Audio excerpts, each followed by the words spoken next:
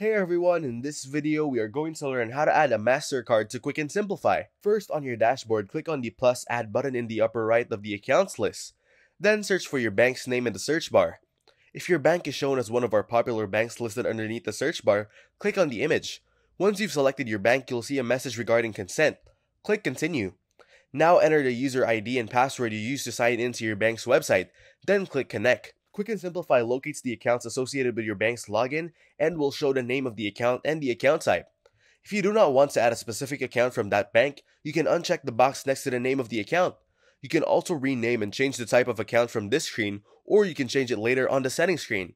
Then click Add when done. Once your accounts are connected, Quicken Simplifi will review your transactions for any recurring transactions. Once done, the accounts will show in your accounts list. I hope you learned something new today. Don't forget to like and subscribe for more content.